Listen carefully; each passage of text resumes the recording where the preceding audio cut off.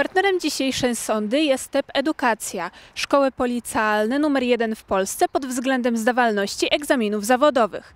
W TEP Edukacja możesz wybrać spośród ponad 70 najbardziej popularnych zawodów w Polsce. Szkoły policjalne TEP to bogata oferta rozwojowych kierunków, nowoczesne pracownie, wykwalifikowana kadra i wsparcie światowych firm, które sprawią, że staniesz się profesjonalistą w wybranym przez Ciebie zawodzie. Ucz się online lub stacjonarnie w jednej z 45 szkół na terenie całej Polski. Sprawdź link w opisie i wybierz miasto, w którym chcesz podjąć naukę. Jesteśmy po maturze z matematyki, to opowiedz nam o swoich e, przeżyciach.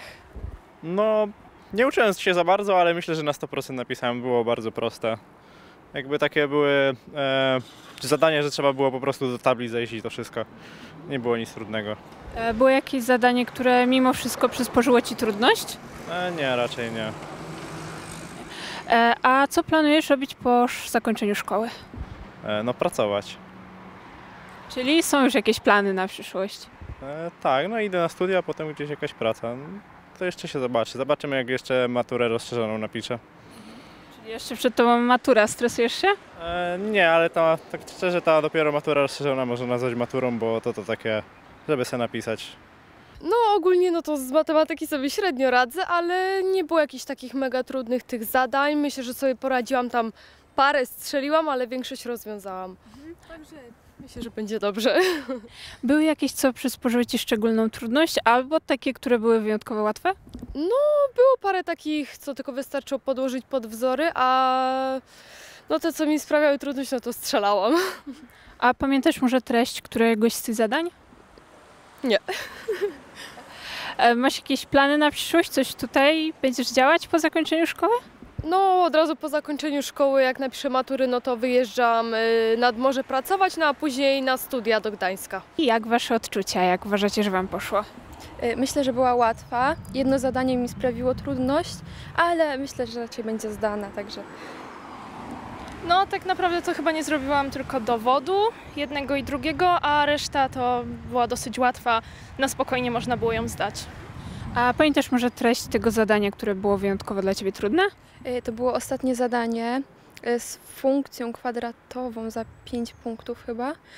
E, Trzeba było obliczyć A, B i C na podstawie tego, że jedna prosta mm, miała wspólny punkt z wykresem funkcji. Także no, no tro, trochę tam się trzeba było naliczyć, ale E, uważacie, że nauka zdalna, którą mieliście teraz jakoś wpłynęła na Wasze przygotowania? Zdecydowanie. Myślę, że tak, że gdyby nie nauka zdalna, napisałabym to, myślę, lepiej yy, i czułabym się w wielu przedmiotach yy, pewniej. Yy, no ale ra- raczej zdamy, także to Raczej najważniejsze. tak. Nie, no na pewno wpłynęła, tak, no bo to jednak były około dwa lata na zajęciach zdalnych, więc dwa lata, tak odejmując tą, te lekcje matematyki, które mogliśmy mieć normalnie w klasie, gdzie mamy tablice i wszystko, to wiadomo, że to wpłynie jakoś na wyniki.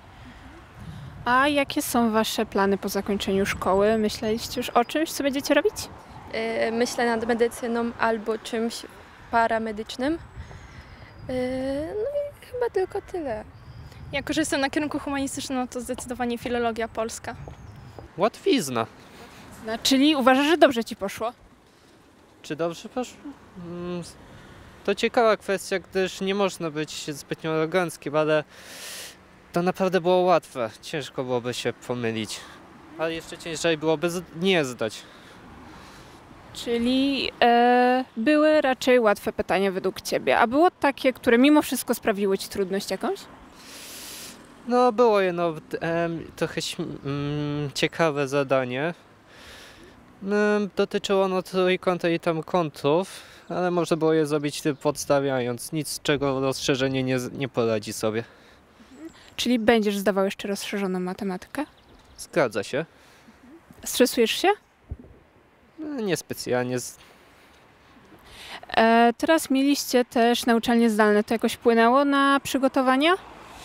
Em, nie z podstawy, gdyż była ona banalnie prosta, za to z rozszerzenia, no to myślę, że będzie trzeba trochę więcej się poduczyć. A jakie plany na przyszłość? Co planujesz robić po zakończeniu szkoły? Lotnictwo i kosmonautyka. I Jak Wam poszło, jak Wasze przeżycia? Mam nadzieję, że bardzo dobrze. Raczej dobrze, wszystko zrobione. Były jakieś zadania, które sprawiały Wam szczególną trudność, albo takie, które były wyjątkowo łatwe? Nie, dzisiaj nie zadało mi nic takiego bardzo kłopotu. Bardziej byłem zaskoczony tym, że nie piszemy dzisiaj polskiego, a powtarzałem sobie jeszcze rano dzisiaj lektury. Prawdopodobieństwo nie było za przyjemne, ale do zrobienia. E, teraz mieliście też naukę zdalną, to jakoś wpłynęło na Wasze przygotowania do matury? Nie bardzo. Niespecjalnie, matematyka akurat zdalna wyglądała dobrze. A co planujecie robić już po zakończeniu szkoły? Macie jakieś plany? Mm, Tak delikatnie myślałem, ale no chyba jakiś do pracy, do McDonaldu, może Humana odbije. No ja bym chciała na studia później iść, na ekonomię prawdopodobnie. Mam wrażenie, że była całkiem przyjemna. Nie wiem, ja czułam się średnio przygotowana. Mam wrażenie, że poszła całkiem dobrze, więc jestem zadowolona. A było jakieś zadanie, które sprawiło Ci jakąś taką wyjątkową trudność, albo było wyjątkowo łatwe? Trudność to może to dowodowe, bo nigdy nie wiem, jak się zabrać za dowodowe zadania. Nie wiem, jak tam inni. No, a łatwe. Mam wrażenie, że zamknięte były całkiem przyjemne w tym roku po prostu. Czy jakoś ta nauka zdalna wpłynęła na Twoje przygotowania do matury? Chyba tak. Jednak chodząc do szkoły lepiej, by się, lepiej można by się nauczyć. No, ale jeśli ktoś się przykładał w domu też do nauki sam, no to myślę, że bez problemu powinien wyciągnąć jakiś wysoki wynik. E, czy masz jakieś plany już po zakończeniu szkoły? Coś No, w moim przypadku to ciężko, jeszcze będę myśleć. No, zobaczymy.